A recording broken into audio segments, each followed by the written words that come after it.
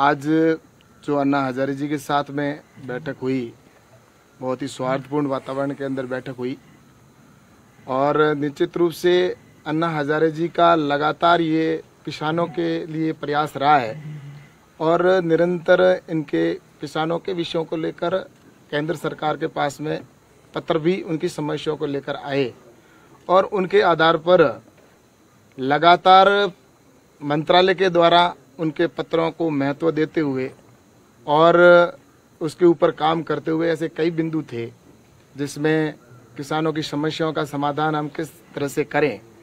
तो इसको लेकर लगातार प्रयास किए गए और कई ऐसे कार्य कृषि मंत्रालय के द्वारा जो अनाज जारे जी के सुझाव के आधार पर किए गए और जिसका किसानों को प्रत्यक्ष आज उसका लाभ भी मिल रहा है, जिसमें उन्होंने किसानों के लिए आज चाहे एमएसपी की विषय पर पहले जब पत्र आया था तो कहा था तो एमएसपी को डेढ़ गुना करने का विषय था तो डेढ़ गुना किया गया। और साथ ही किसानों के लिए आर्थिक सहायता का विषय था तो उसके ऊपर भी किसान सम्मान निधि के तौर पर छह हज़ार रुपये प्रतिवर्ष किसान के खाते में डालना प्रारंभ किया। हर चार महीने के अंदर किसान के खाते में चार दो, चार हज़ार, दो हज़ार रुपये डाले जाते हैं। और ये लगभग दस करोड़ किसानों के खाते में आज दिन तक ये पहुँच चुके हैं। इसी तरह से चाहे कोल्ड स्टोरेज या वेयर हाउस के लिए बजट का प्रावधान हो तो उसको भी व्यवस्था की गई। और साथ ही फ़सल बीमा के बारे में कहा गया तो फ़सल बीमा योजना के अंदर जिस तरह से उसमें सुधार किया गया, आज फ़सल बीमा योजना है उसको स्वैच्छिक किया गया है। कि कई ऐसे किसान थे जो फ़सल बीमा का लाभ जिस तरह से उनको लगता है कि नहीं लेना चाहिए, हमें उनका प्रीमियम लगता था, लेकिन उनको कभी उसका उपयोग नहीं होता था तो उनकी भी जो शिकायत थी तो उसके ऊपर भी स्वैच्छिक किया गया है। और कुल मिलाकर अन्ना हजारे जी के जो भी पत्र आए, उनको हमने समय पर जवाब भी दिया और बजट के अंदर भी उन्होंने कहा था कि बजट को बढ़ाया जाए।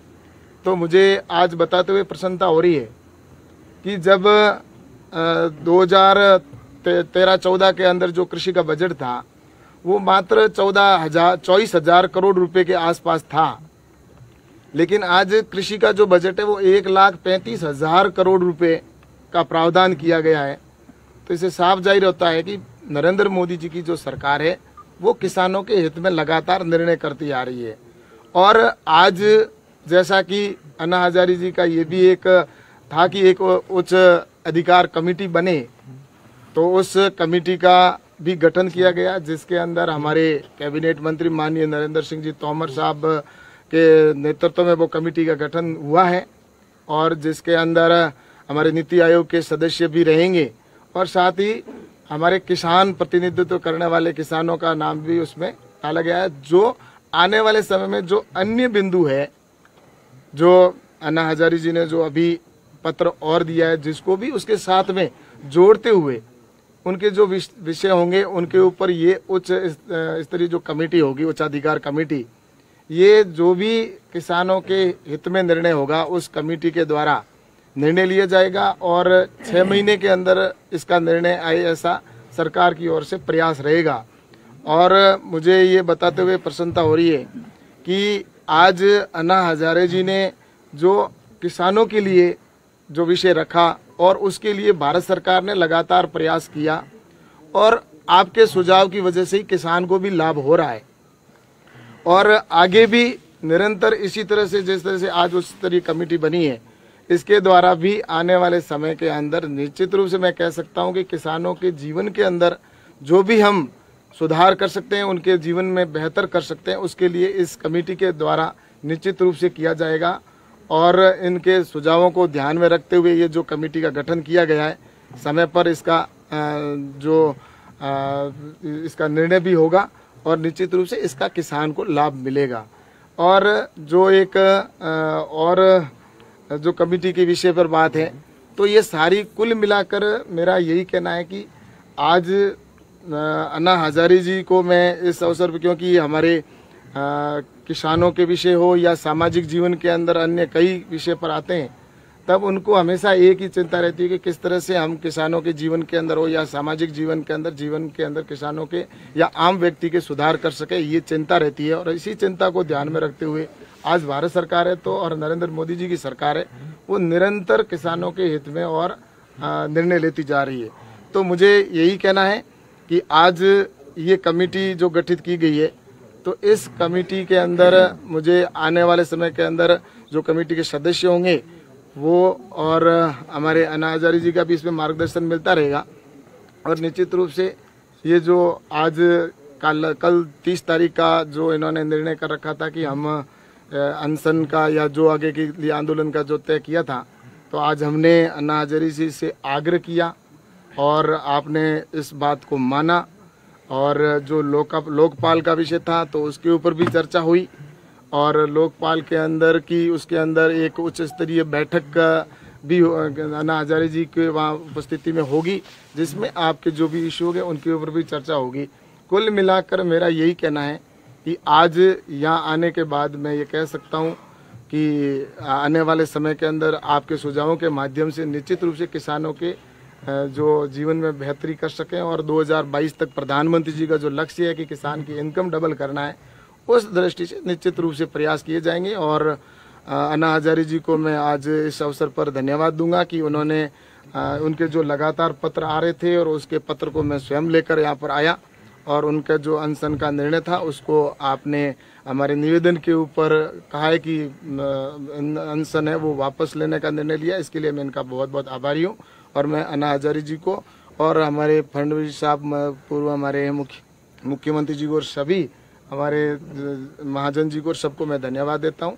और इसलिए कि आपने सबने बैठकर आज एक अच्छा जो निर्णय लिया तो इसके लिए मैं आपको धन्यवाद देता हूँ और मेरा, हमारा जो निवेदन था, उस निवेदन को आपने स्वीकार किया, इसके लिए भी आपको बहुत बहुत धन्यवाद देता हूँ। मी माननीय अण्णांना विनंती करतो की अण्णांनी थोडं आम्हाला आशीर्वाद पर मार्गदर्शन बोल अलग अलग सामाजिक विषय पर कई सालों से मैं आंदोलन करते आया। संविधान ने दिया हुआ हमें अधिकार है वो। शांति से मार्ग से, शांतता, अहिंसा, इसके मार्ग से आंदोलन करना दोष नहीं। आत्मक्लेश हमने करना है और संवेदना लोगों को होने ऐसे सत्याग्रह, ऐसे आंदोलन ये करते आया और किसान के प्रश्न पर मैं तीन साल से ये मुद्दा उठा रहा है कि किसान जो आत्महत्या करता है, वो आत्महत्या ना हो, वो आत्महत्या क्यों करता है? लागत मूल्य, फ़सल का लागत मूल्य उतना भी दाम नहीं मिलता। स्वामीनाथन आयोग का अहवाल है। वो स्वामीनाथन आयोग क्या कह रहे हैं कि लागत मूल्य पर 50 प्रतिशत बढ़ा कर देना। और वो सरकार ने मान लिया कि हम 50 प्रतिशत, लागत मूल्य पर 50 प्रतिशत बढ़ाकर देने का निर्णय सरकार ने लिया है। ऐसा मुझे लेटर दिखा, दिया है। इसलिए वो लेटर दिए, देने के बाद पालन नहीं हुआ। इसलिए मैं कल अनशन पर बैठने वाला था।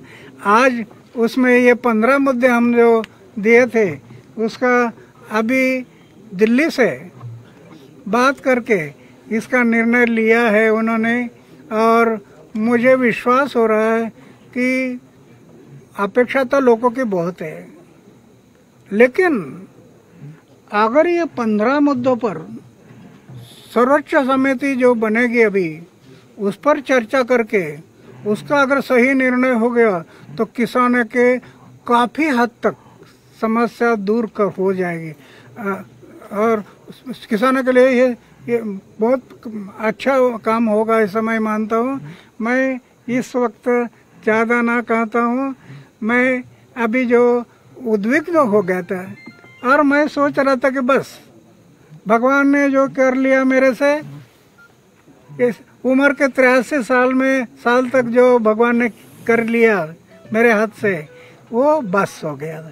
अभी ये आखिरी, लेकिन अभी ये जो केंद्र सरकार ने निर्णय लिया और पंद्रह मुद्दों पर जो काम करने के लिए जो तय किया है इसके कारण मैं कल का अनशन स्थगित किया है।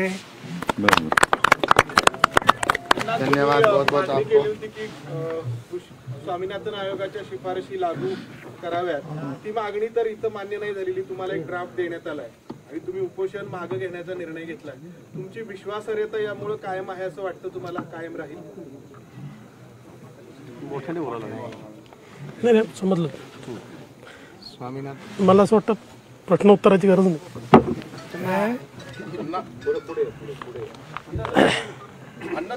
प्रश्न असा आहे की तुम्हाला जी आ- तुम्हाला जी तुम- तुम्ही जी मागणी केली होती स्वामीनाथन आयोगाच्या शिफारशी स्वीकारण्याबाबत त्याची अंमलबजावणी करण्याबाबत मात्र त्याबाबत तुम्हाला आता फक्त पत्र मिळालंय आणि तुम्ही उपोषणाची घोषणा केली होती. अशा परिस्थितीमध्ये तुमची म्हणजे तुम्ही उपोषण करणार होतात मात्र ते आता मागे घेतलंय. म्हणून तुमच्याबद्दल किंवा तुमच्या प्रतिमेबद्दल जनतेच्या मनामध्ये काही शंका निर्माण होण्याची शक्यता आहे का? उच्चाधिकार समिति जो हे ये लिख कर दिया. उच्चाधिकार समिति जो नियुक्त होगी सरकार के जो मेंबर हो गए चार उसमें हमारे भी होंगे और वो उस पर देखते रहेंगे और सजेशन भी दे देंगे। आज तक क्या हुआ? आज तक। ऐसे कोई कमेटी नहीं है। सरकार को पूछने वाले लोग नहीं है। इसके कारण एक बात नहीं हुई। अभी हमारे जब का एग्रीकल्चर में जिनका दीर्घ अनुभव है, ऐसे हमारे लोग होंगे कमेटी पर।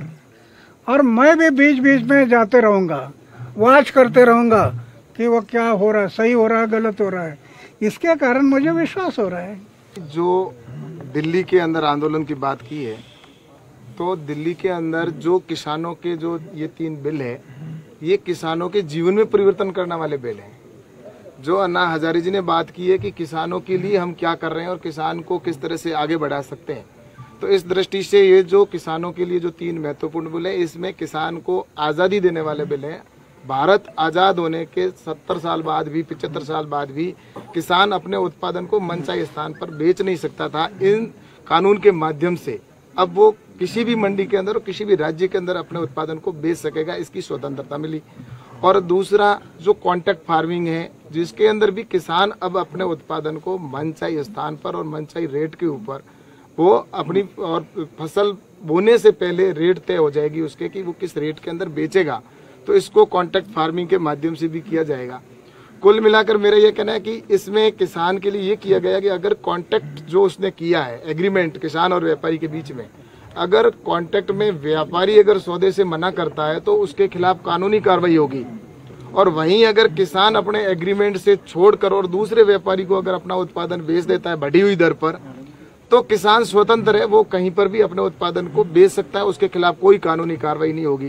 तो इस तरह से ये किसानों के हित के कानून बने, और इसलिए आज देश भर में इस कानूनों का समर्थन किया जा रहा है, इन जो कानून बने। और दूसरा मेरा ये कहना है कि जो बॉर्डर पर बैठे हैं किसान, उनसे भी हमारी लगातार 10-11 वार्ता, दौर की वार्ता हो चुकी है। और उनका ये कहना है कि ये कानून वापस लिए जाए। और हमने ये कहा कि इस कानून से ही किसानों का अच्छा आने वाला, कल है वो अच्छा होने वाला है।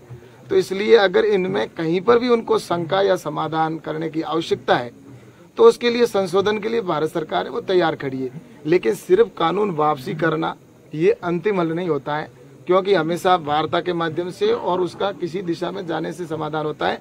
जो आज हमारे अन्ना हजारी जी ने इसका उदाहरण दिया है और अपन सबके सामने है, कि उनके सामने जब ये बात रखी तो उन्होंने तुरंत कहा कि नहीं, आप जो भारत सरकार जो काम कर रही है, वो वास्तव में एक अच्छा कदम इन्होंने हमारे आस, जो पत्र व्यवहार के आधार पर किया है। और आगे भी जो हमारे हैं, उनको भी करेंगे तो ये एक किसान और किसानी के लिए निश्चित रूप से एक अच्छा कदम, एक उदाहरण है। और वहीं दूसरी तरफ़ जो आपने देखा आज से छब्बीस जनवरी का नज़ारा तो ये मेरे को जहाँ तक लगता है कि 26 जनवरी को पूरे देश ने देखा है कि उस दिन क्या हुआ। तो इसलिए मैं सोचता हूँ कि वहाँ जो बैठे किसान हैं, उनके किसानों के कंधे पर बंदूक रखकर कोई दूसरे लोग निशाना साधना चाह रहे हैं और उसमें उनको सफलता भी मिली है। लेकिन आज देश का किसान है, वो इस बात को समझ चुका है और निश्चित रूप से वो आंदोलन है उसके लिए भी हम तो आग्रह कर रहे हैं कि अब पूरे देश के अंदर इस इसी बिलों के माध्यम से और कानून के माध्यम से किसान का जीवन बेहतर होने वाला है, जीवन आगे बढ़ने वाला है और किसानों किसानों की इनकम बढ़ने वाली है। तो मैं सोचता हूँ कि अब उन किसानों को भी इस आंदोलन से अपनी जिस तरह से आज अन्ना हजारी जी ने बहुत बड़ा दिल करके और निर्णय लिया, वैसा उनको भी निर्णय लेना चाहिए। लेटेस्ट अपडेट और खबरों के लिए टीवी वन इंडिया को सब्सक्राइब करें और नोटिफिकेशन पाने के लिए बेल आइकॉन को दबाना मत भूलें।